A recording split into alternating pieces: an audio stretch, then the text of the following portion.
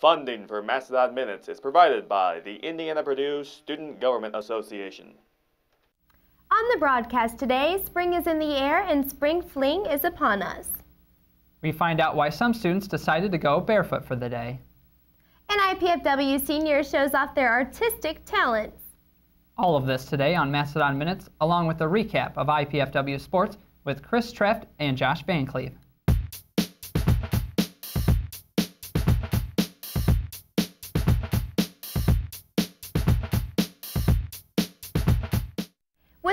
Weather on the way, IPFW is gearing up for its annual Spring Fling celebrations. Hello, I'm Andee Starewich. And I'm Nick Lawrence. Spring Fling events planned and organized by the IPSGA Student Activities Board hopes to build upon the successes of years past.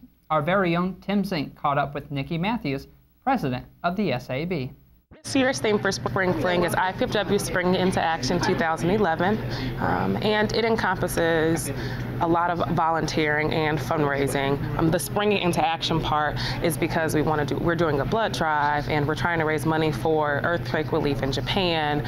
Um, we're doing the Six Cent Initiative, which is in conjunction with the Circle K um, on campus, um, and that is where we like to raise money for third world countries. And every cent donated um, provides fresh water for people in third world countries. And our goal is to flood the union, um, and that simply is just whenever you donate some money we'll write your name on a paper water droplet and we'll put it up in our student union. And like I said, we want to flood the union. Our last fundraiser is Relay for Life, um, which is that is for the American um, Cancer Society. And it doesn't take place until June, but we like to get an IPFW team together um, to support the survivors of cancer, the people who've passed away from cancer, um, and all of that. And so springing into action is just our students taking, or our IPFW community as a whole, taking control and showing that we care. We actually got a late start um, planning Spring Fling, but as far as um, deciding what organizations and what groups and all of the fundraisers and so forth that we wanted to incorporate, um, was a no-brainer. Um, and I say that because we've been really trying to start doing more community, um, getting more community involvement. Um, so when it came to planning Spring Fling, we thought this is the perfect time to do it and this is, you know, this is the, the best time. A complete list of Spring Fling events can be found by following the link on your Facebook page.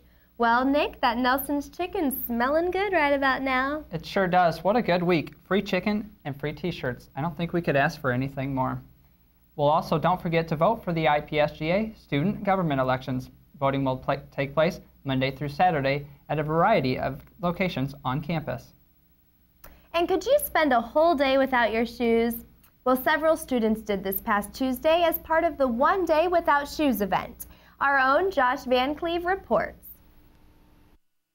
Um, it's called One Day Without Shoes, and it's for TOMS shoes. Um, as far as TOMS, it's a one for one. You buy a pair of shoes and you give a pair of shoes.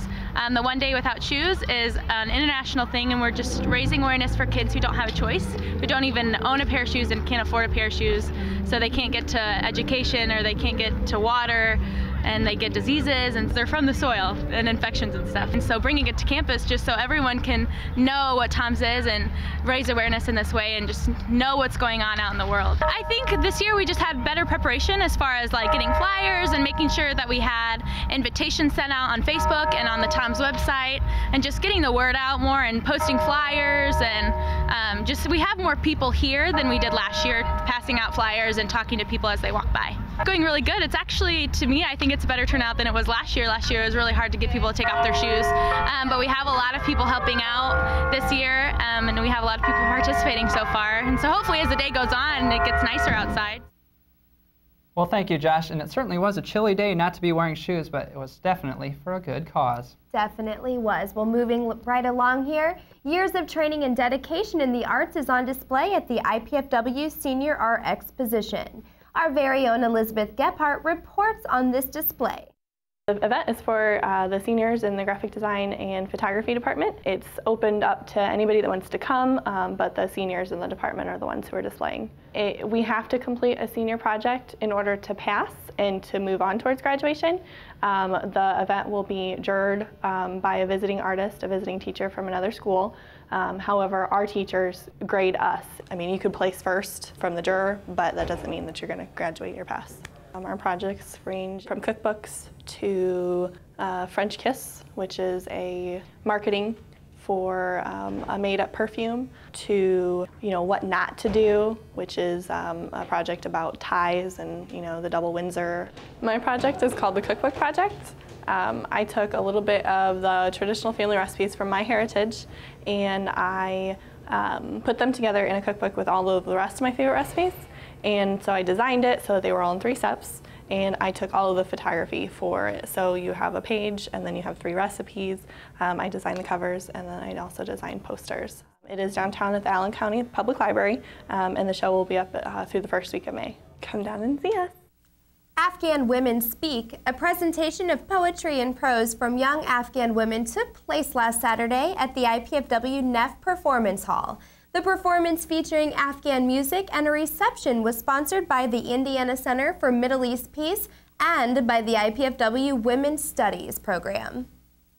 The IPFW Institute for Holocaust and Genocide Studies sponsored a screening of This is the Prison Where I Live, directed by Rex Bloomstein. Just looking at, at, at in, a, in, a, sort of rather simple way at um, what we as human beings have to confront and reflect upon all the time. When are we bystanders? Could we become victims? Who are the perpetrators? The IPFW Student Achievement Award celebration took place last Wednesday, recognizing students, faculty, and group achievement on campus. The year's winners came from a variety of backgrounds in and around the IPFW community.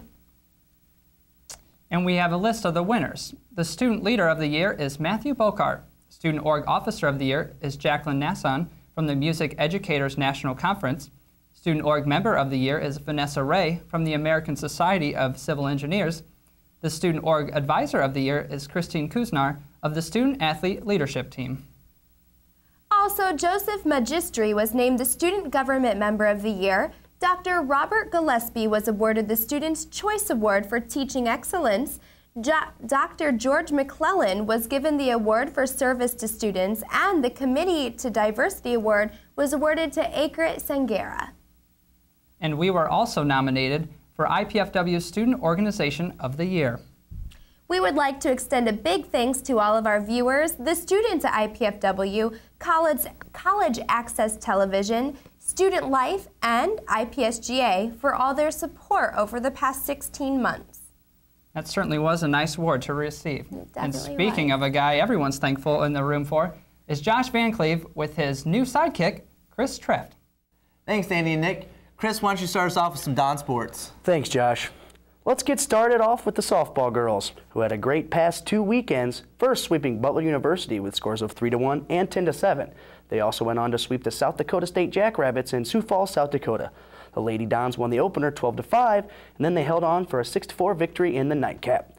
With the sweep, the ladies move into a two-way tie for second place in league standings at 7 and 4 in Summit League play while improving to 15-8-1 overall and winning their fifth consecutive game. In addition, Sarah Swanson and Courtney Cronin were named Summit League Player and Pitcher of the Week. Looking ahead, the Lady Dons trying to keep this streak alive as they face Western Illinois in a three-game set this weekend. Double dip coming on Friday, and Saturday is the final game at home.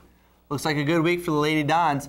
Let's go to the other side of the diamond, where the men's baseball was not so good. The men had a tough past weekend versus Evansville Purple Aces, being swept with a score of 11 zip, 4 3, and 14 6. The Dons bounced back on Tuesday, snapping a four-game losing skid in dominating fashion as the Dons toppled the Cougars of Chicago State University 17 5. The Dons have their Summit League opener this weekend as they have two doubleheaders on Saturday and Sunday at Mastodon Field. Switching to men's volleyball, the guys had a home and home series with MIVA foe Quincy, losing only one set in the series, sweeping the Hawks for their fourth MIVA win of the season. The guys try to keep up their winning ways on the road this weekend, Friday at Lewis, and then Saturday in Muncie versus Ball State. Now let's hit the links with women's golf. Sophomore Alyssa Cherney finished in 21st place to lead the Lady Dons to the fifth place finish at the IPFW Spring Classic at Spring Classic at Pine Ridge Country Club. The Mastodons posted a team total of 377 in the second round to finish the tournament with a total of 742.